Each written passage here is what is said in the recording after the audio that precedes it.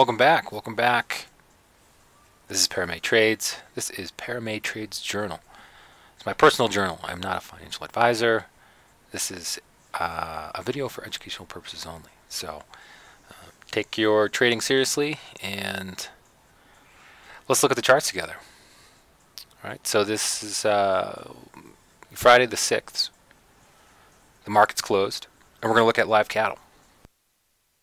We're going to look at live cattle. We're going to look at the COT study uh, and just do a quick update because I think we just released a video um, probably yesterday or something like that. So let's just dive into it because um, this is getting really interesting. And it's interesting because of the comparison to ZM that we saw, I think, a, few weeks ago. We saw relatively high, you know, bullish commercial interest on ZM, but it was shredded for um, well, Friday close. So it might have been last Friday. Last Friday's close, uh, ZM looked looked terrible, right? And comms, we're on the right side of the trade because it absolutely blew up. So we're looking at live cattle because live cattle is on our radar because the last two weeks, commercial interest has set new new highs here for um, net long contracts. So they are they are they are pretty positive right now. More so than they have been in the last six months, right? So a lot of these numbers are up over 60, up over 70. They haven't had a very positive outlook, but the sentiment has shifted considerably even with the market doing what it's doing right now, with the whole virus scare and, and everything else, and economies and the Fed getting involved, and OPEC and Russia and everything else, live cattle is still looking pretty bullish. So what do we what, what do we do here? What I'm first going to do is turn off this comparison. I'm really liking this tool right now, by the way. Because we were looking at uh, the Japanese yen just before this, and then let's look at cattle because this is what's cattle. This is what cattle's doing. So we had marked off that on our eight-year uh, seasonal study that March was a, a, you know a time of, of decline, but we've got commercial interest as bullish as it is both on the three-year index and on the six-month index.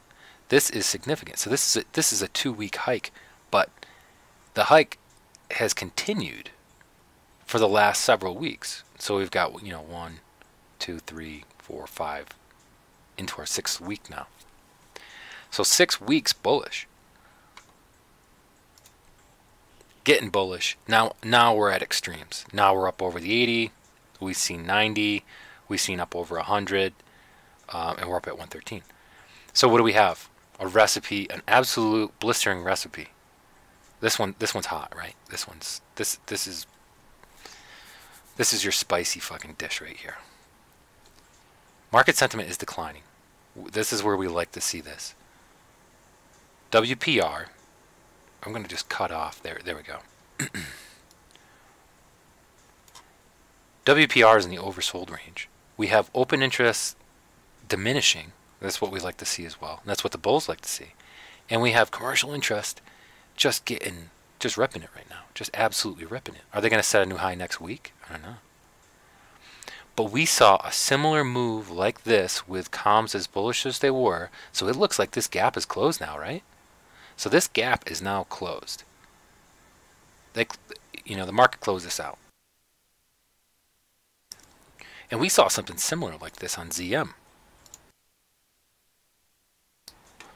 And if I'm repeating myself here, I feel really bad. But I don't. I don't really feel bad about this because this is this is important. Comms are getting bullish back here, up into the 100% range, because I think we ratified this here. I mean, they, they were blazing. One, two, three, four, five weeks, and then a sharp decline. But this is the interesting part was they were getting bullish back here We had that nice sell-off uh, the Friday before, and we got trapped short positions, I think. Right? There was there's a, you know a two-day sell-off before this thing took off to the skies. WPR was oversold, diminishing open interest, bullish comms. Market sentiment is declining. Now this is this is going to flip-flop, I think, because of the way the market is on ZM. But just as a comparison, so let's let's look here. Let me get some more data out of this here. We're going to need more than what we got. What do we got? 10 days. Oh, that's why. I need that 20. Give me that 20.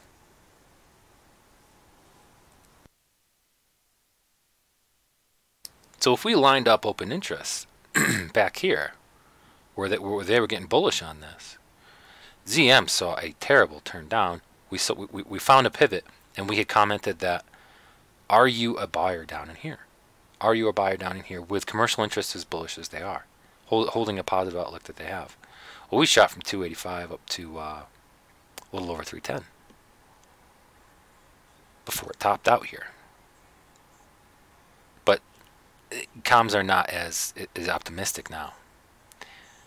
So we missed that boat. So now we're looking at live cattle, and I hate to you know say well, this did this, so this did this. So I mean, you know, so this is going to happen, you know. Uh, well, it did it on ZM, so it's you know this this might be what happens. We're seeing a similar Friday sell-off. You got to pivot. Comms are getting bullish.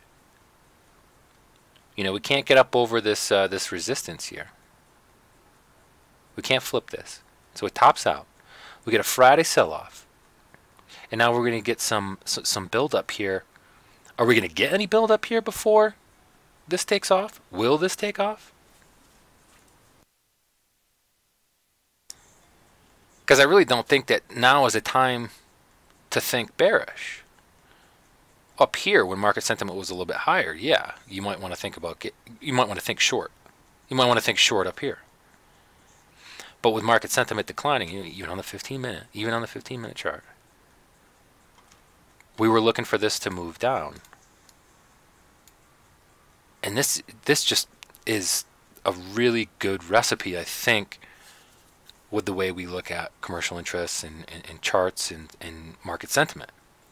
So we're looking for, okay, one of two things. Is this going to continue to the downside, or is this going to this going to come up? Now, you, I guess you could plead the case that you know if you're looking at the uh, the natural gas chart, and com's been bullish for God knows how long. I would argue that the energy sector is a little bit different than live food? So I mean, we dig again and again, right? So we commented on this before. We're looking for a swing pivot. This thing got has been getting killed for a long time now, right? Comms are super bullish on this, though. Why isn't it moving? it's been hovering in this 1718 range for, you know, for a couple of weeks here. But when you look at the, uh, commercial interest chart, they, they have been bullish on this for a very long time. This is one of the more confusing charts, it, it would seem. Typically, and, and I've heard from other traders too, and uh, I think even Larry Williams had reported this in, in one of his videos, that, you know, Typically, you see a rally around this time of year. I would argue that you don't completely, at least not on the eight-year study that we have on TOS. On, um, his data may be a little different. Maybe the season's different. I mean, we just. I'm not. I'm, I'm not saying Larry Williams is wrong.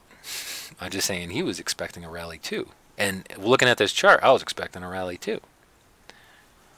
We got rallies when the three-year index was up over 80 we got up over 80 here. We had a small bounce, but that was the end of it. And now here we are into, you know, into March, February March, and commercial interest is still holding holding bullish on this. So you say, well, you know, is this is this the case of live cattle here? Do get some movement, but not you know, your moonshot.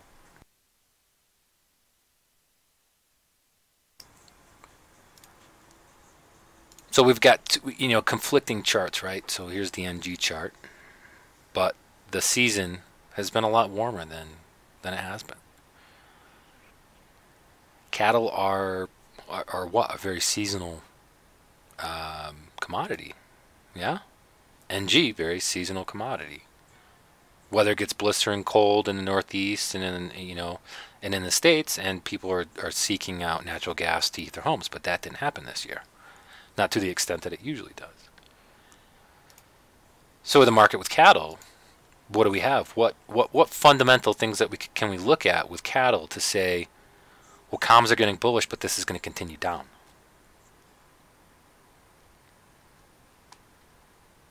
They got bullish back here.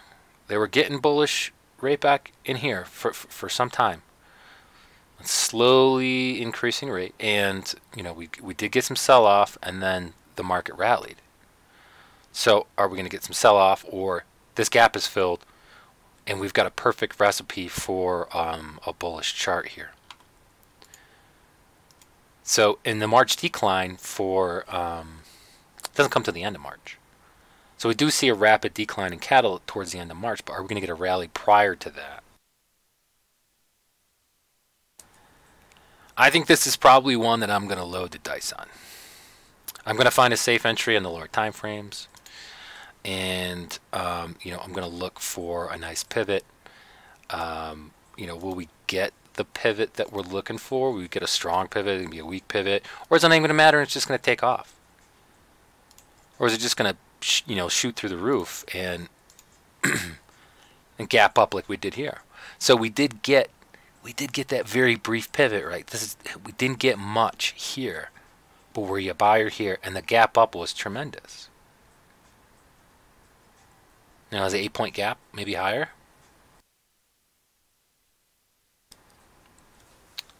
So 70, 78 point gap. So and, and then that there's your there's your market sentiment right there. So are we, we going to wait for that to happen on live cattle, or do you think you know maybe you could absorb some of the drawdown and see if this thing is, is going to produce.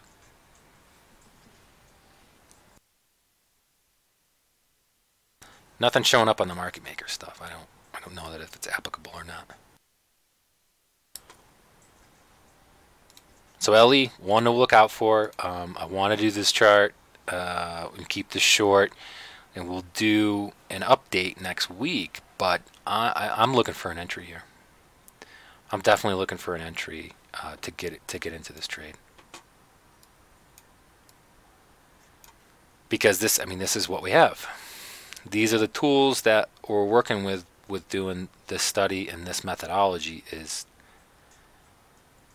what are, are these guys on the right side of the trade because I want to be on the right side of the trade and if this takes a you know 20 point hike or 14 point hike I would I would love to be on that side of the trade as a swing trader uh, even as an intraday trader, you know, I, I'd love to be on that. Gap, please gap up. You know, eight points. I'd love that. So when market opens, we we got. I'm going to pay attention, but, you know, personally. So that that's the analysis. That's the study. Thanks for tuning in. Um, stop by the Discord if you want. Um, all the channels are open to read. Um, you could private message me, or direct message me rather, and you know, if you got some questions, you want to hang around, we're going to talk about the charts, hang out in the group, shoot the shit, whatever it is. Um, I hope you find yourself on the profitable side of the trade, and we'll see you in the next video.